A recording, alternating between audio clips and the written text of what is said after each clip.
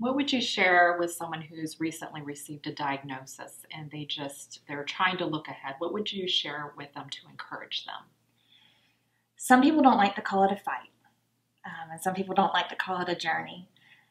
But I think embracing the fact that it truly is a journey, not just about cancer, but you know, letting somebody know who's you know going through this to it's not necessarily about the the end result it's about what you learn through every single step and those connections that you make um, with the community, but also you reconnect with your family and your loved ones in ways that you would have never ever imagined, and you reconnect with yourself. And so, soaking in those moments is truly something that I found, you know, looking for silver linings through every little step of the way, every little part of your journey, um, and, and, trying to make the the most out of losing your hair. And because uh, that was for me one of the scariest things. I, am a Southern girl, like my long hair, um, but just embracing and, and and looking for the the bright side to every challenge that's put in your way. It makes it go so much more smoothly but it also gives you some insight into maybe why this was put into our path. Mm. Um, understanding humility. Um, if you go through chemo, you will realize that chemo brain is real.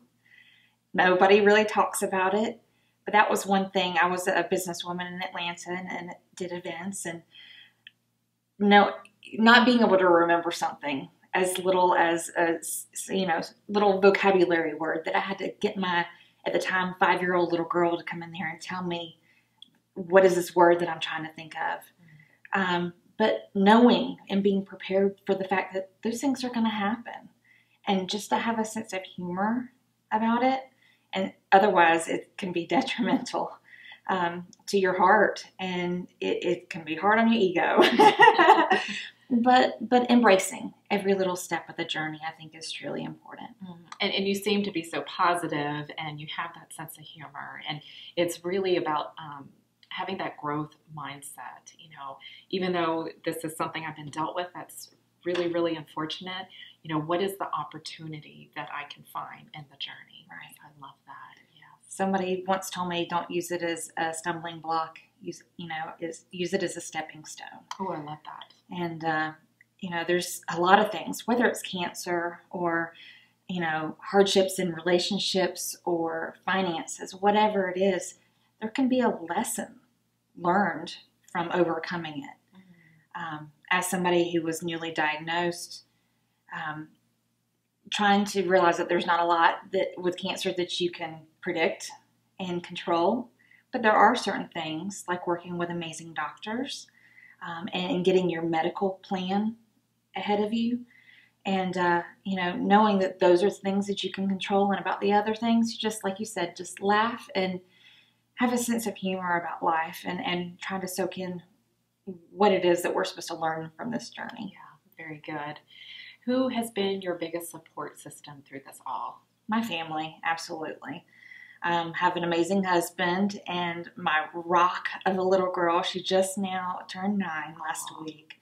And, uh, you know, to tell a, a five year old that mommy has cancer was probably one of the most difficult things, but she is a rock star, you know, and uh, that that helped me through. My parents are still in Georgia, but they constantly came up and visited, and um, you know, my, my friends back home who would send texts, even though they might not know what to say. They would just send a text or a, a Facebook message or something saying, Hey, not exactly sure what to say, but I wanted to let you know I was thinking about you. Wow. Um, those little things make all the difference, and they're the glue that really help you to fight on. Mm-hmm. What are you most looking forward to moving forward? Going forward with the Pink Heals Color Rush is truly, you know, my focus going forward and uh, making it stronger and and uh, a, force to be reckoned with and it, balancing a fun event with an awareness event. Again, it's you know I had breast cancer, but there's so many out there that have other forms of cancer, so we throw all different colors representing the cancer awareness colors. So we come out wearing each other's battle colors, if you will.